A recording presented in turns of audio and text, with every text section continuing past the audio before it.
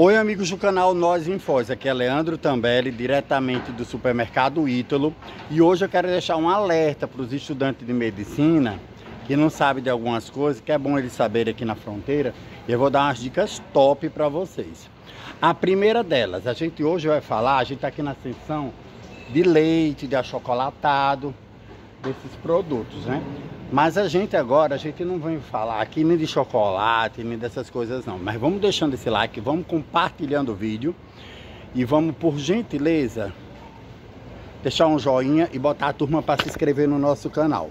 O que é que está acontecendo com esses produtos no Brasil nesses últimos quatro anos que passou? Vocês sabem o que aconteceu? Nos últimos quatro anos que passamos com esses problemas internacionais, com essas coisas todas, o que é que a indústria e o comércio latino-americano desenvolveu, principalmente no Brasil, a estratégia deles de marketing e de forma injusta que eles fizeram com a população brasileira, o que é que esses produtos têm de certo e de errado. Vocês sabem o que é que tem de certo e errado? Tem que nem todos os produtos que a gente está vendo são os produtos que a gente deveria estar tá comprando. Então a gente vai falar hoje sobre composto lácteo um projeto que foi desenvolvido nesses últimos quatro anos, que foi aplicado no Brasil e alguns países, para favorecer a indústria e prejudicar a população. Então, quem consome alguns produtos com derivado de composto lácteo, saiba que vocês estão comprando gato, é, trocando gato por lebre, né? Então, vamos nós. A gente vai pegar essa lata aqui, que eu não sei nem o que é, e vamos ler o que é está escrito. Ó. Sabor, rendimento e consistência. Isso ele quer dizer que tem gosto, mas não é o gosto daquilo, né? Ele rende, porque ele foi produzido para render, mas nem geralmente, se fosse a lata original, nem rendia tudo isso. E consistência, que, porque com certeza deve ter amido de milho, né? Aí vamos ver aqui, ó, tá escrito aqui, ó, leite condensado integral de uso culinário, né? Ó, cuidado com a lata, tá dizendo aqui, ó, leite condensado integral. Esse está dizendo que é integral. Fizeram uma lata agora, a Nestlé lançou uma lata, observe, uma estampa desse jeito. Eu não consigo ler no rótulo as informações dele. Mas como ele está dizendo que é integral, a gente vai acreditar que seja integral, porque esse produto apareceu no mercado agora que eu não conhecia. Aí vamos para a parte do composto lácteo. Vamos ver se a gente acha aqui alguma coisa de composto lácteo, ó. Vamos ver aqui, ó. Ah, tá aqui, ó. Isso aqui, ó. Mistura láctea condensada de soro de leite e amido. Estão vendo? Ó, do lado do leite condensado integral, temos uma, uma caixinha com a mesma logomarca, né, do produto. Eles colocam, ó, o pudim como sendo símbolo da embalagem do leite condensado integral e no mesmo produto também bota, para confundir as pessoas, né? A indústria tem esse poder, né? De fazer com que as pessoas confundam. Ó, vamos dizer para vocês, vão no supermercado, compram uma lata de leite moça que tenha na estampa uma foto de um pudim. A caixinha também tem uma foto de um pudim, não é o mesmo pudim. Eles vão alegar isso, mas eles desenvolveram um design gráfico ó, que eles botaram na embalagem do leite integral verdadeiro um pudim. E no composto lácteo ele também botou a foto de um pudim. Para que isso? Para confundir as pessoas que compram esse produto. Então, tá aqui, ó.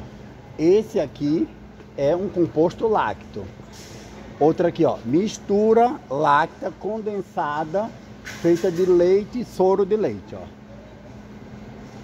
Ó, composto lácteo. Isso não é leite condensado. Aqui, ó. Leite condensado semidesnatado, que também o semidesnatado já é uma coisa assim que é para ficar em alerta. Então o que acontece, ó, esse aqui está dizendo que é leite condensado, está escrito em, em castelhano, ó, leite condensa, condensa, é, condensa, condensada, condensada, né, ó. Tá escrito assim em castelhano. Tá aqui.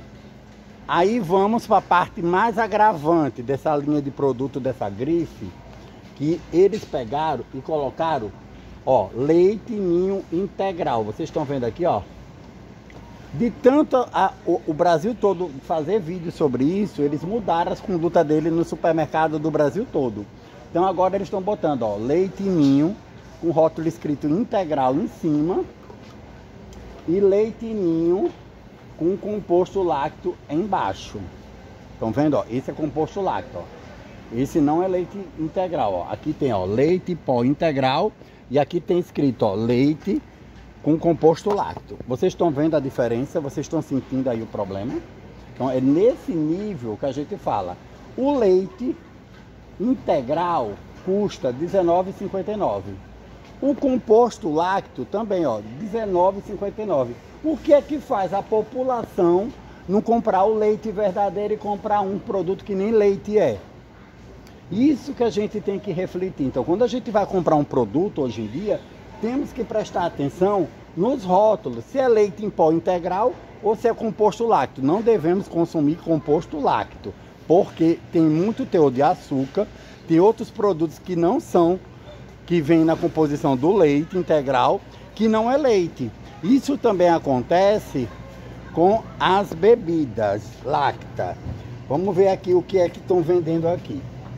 Vamos ver aqui, pegamos um iogurte dessa marca e está escrito ó, iogurte parcialmente desnatado de coco. Aqui ele está falando que é iogurte, ó. Não está falando, ó, iogurte, tá vendo, ó? Iogurte é derivado do leite. Se não for iogurte, não pode ser composto lácteo. Aí a gente vai agora para a turma dos compostos lácteos, que eles adoram vender, né? Composto lácteo é uma coisa que vende bem no Brasil, ó. Tá aqui, ó. Eles botam o nome, ó, bebida láctea fermentada com preparo de açaí. Bebida láctea, bebida láctea, que geralmente tem vários sabores, ó. Isso não é iogurte. Isso é uma bebida láctea. Iogurte é feito com leite integral. Bebida láctea é feito com soro do leite. Então a gente tem que pegar a visão dessas informações para vocês entenderem. Aí nessa parte a gente pode passar que tá tranquilo. E vamos para o outro mais grave também, ainda, ó, das indústrias, né? Dessas coisas todas que fazem esse tipo de coisa. Aqui tem, ó. Esse é um requeijão tradicional que todo mundo conhece, ó. Esse aqui é original, ó. Requeijão cremoso com queijo, ó, com queijo. Estão vendo? Ó, esse é um requeijão, tá vendo? Esse é um requeijão light, aqui é um requeijão, né? Ó, requeijão tradicional, vocês estão vendo, ó? requeijão cremoso com sabor de ervas finas, requeijão light, creme cheese, vocês estão vendo, né? Mas no meio desse pirimbolo aqui, você pode ter certeza que o tal do composto lácteo infeliz está no meio. Aí tem o que? Derivado de amido, soro de leite, faz aquele angu na panela, bota nos potes para os trouxas comprar. Aí a gente consome um produto que não é verdadeiro, né? Eu não pude continuar meu vídeo porque chegou uma pessoa, mas eu ia pegar os produtos que tem composto lácteo e dizer: não compre composto lácteo. Estamos na campanha aqui, vamos dar um basta nos composto lácteo, porque essa história de composto lácteo eu já vi criança pré-diabética porque consumiram esse leite famoso que foi vendido durante esses projetos dos últimos, pelo menos dos últimos três anos, as prateleiras. Eu fiz vários vídeos aqui nesse supermercado, em vários supermercados de Foz, falando sobre isso. Só tinha composto lácteo, ninguém vendia mais leite integral.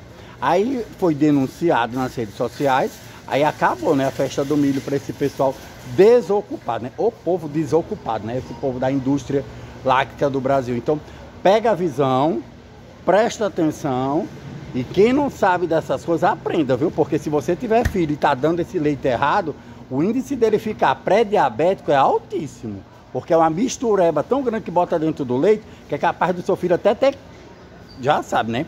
Aquela doença famosa. Então deixa esse like, compartilha o vídeo e vamos que vamos.